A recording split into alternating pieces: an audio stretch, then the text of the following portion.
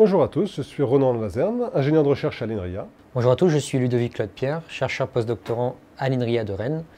Nous sommes ici à l'INRIA Rennes, donc INRIA, Institut National de Recherche en Informatique et Automatique, et plus particulièrement, nous sommes au LHS. Le LHS, c'est le laboratoire haute sécurité, donc qui est supporté par l'INRIA, bien sûr, la DGA, la région Bretagne, le CNRS et Centrale Supélec, qui est un laboratoire expérimental sur un certain nombre de disciplines le tout chapeauté par le PEC, le Post Excellence Cyber, qui est un, organisme à la fois commun à la région Bretagne et à la DGA.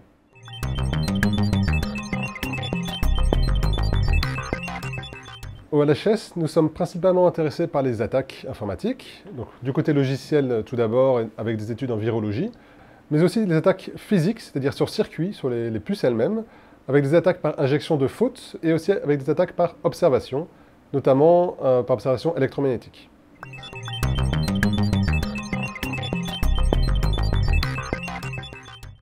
Non, on n'est pas des méchants. Le but ici est de réaliser des attaques sur des vrais microprocesseurs et des vraies cartes afin d'en découvrir les vulnérabilités et de se protéger contre des vrais attaquants.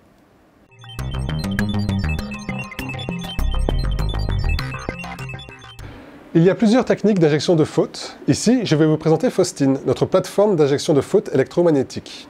Pour cela, ici, nous allons envoyer une impulsion électrique à l'aide d'un amplificateur puissant au travers d'une sonde électromagnétique jusqu'à notre puce dans le but de la perturber.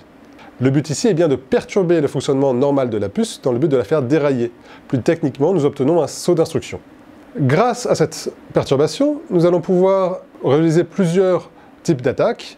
Par exemple, attaquer un code PIN pour lui faire accepter un PIN erroné, ou, dans ce cas ici, pouvoir retrouver la clé cryptographique lors d'un chiffrement.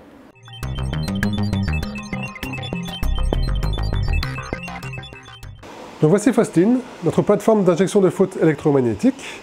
Vous avez ici les différents équipements nécessaires à la génération des signaux électriques envoyés dans la sonde. Voici tout d'abord notre générateur de signaux, qui nous permet de générer une période de sinusoïde de période 3,6 nanosecondes, donc c'est vraiment très très court. Et en dessous un amplificateur qui nous permet d'amplifier ce signaux jusqu'à 175 watts, que nous allons envoyer sur la sonde. Et au-dessus, nous avons un oscilloscope qui nous permet de contrôler les signaux reçus et envoyés sur la carte.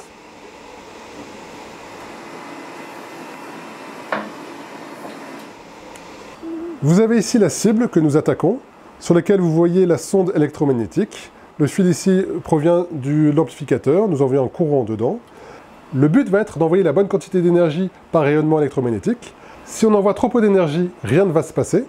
Si on envoie trop d'énergie, la puce va cracher, voire pire, prendre feu. Le but du jeu est bien d'envoyer la bonne quantité d'énergie précisément. Dans ce cas-là, on va réussir à faire dérailler la puce pendant une opération élémentaire, une instruction, ce qui nous permet de réaliser l'attaque. Je vais donc maintenant fermer la cage de Faraday qui va nous permettre de nous protéger, nous, du rayonnement électromagnétique généré par l'amplificateur.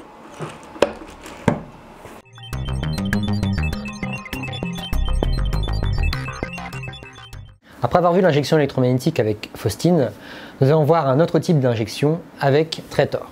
Traitor, c'est quoi? Traitor, c'est un FPGA qui permet de reproduire un signal d'horloge que nous envoyons ensuite sur le microcontrôleur que nous souhaitons attaquer. Lors d'une attaque électromagnétique, nous avons pu observer des perturbations sur le signal d'horloge. Avec Traitor, nous envoyons un signal d'horloge sur le microcontrôleur et nous pouvons reproduire ces perturbations à n'importe quel endroit qui nous intéresse afin de réaliser notre attaque. Les avantages d'une telle plateforme par rapport à une plateforme d'injection électromagnétique sont d'abord le coût. Pour une centaine d'euros, nous pouvons nous procurer un FPGA et reproduire ce type d'attaque. L'autre avantage est de pouvoir produire plusieurs fautes afin de réaliser des attaques complexes sur les microcontrôleurs. Et c'est ce que nous allons voir dans la démo.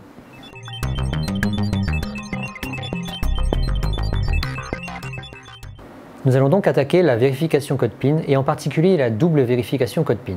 La simple vérification code PIN a depuis un moment pu être attaquée avec succès grâce à une seule faute, ce qui peut notamment être fait avec une injection électromagnétique. Nous allons donc attaquer avec Traitor cette double vérification.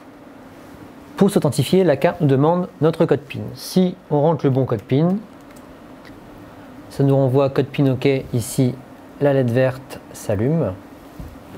Si on envoie les mauvais codes PIN,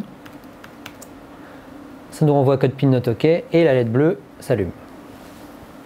Maintenant, si on essaye d'envoyer une seule faute et qu'on rentre le mauvais code PIN, Ça nous renvoie code pin OK not OK malfunction. Les deux LED sont allumées, ça veut dire que notre attaque a été démasquée, la contre-mesure a été efficace. Si maintenant on décide d'envoyer deux fautes et qu'on rentre le mauvais code PIN, ça nous renvoie à code PIN OK, la LED verte s'allume, notre attaque a donc été réussie. Ici nous avons envoyé deux fautes, mais Traitor permet d'envoyer n fautes et donc potentiellement de contourner une n vérification code PIN.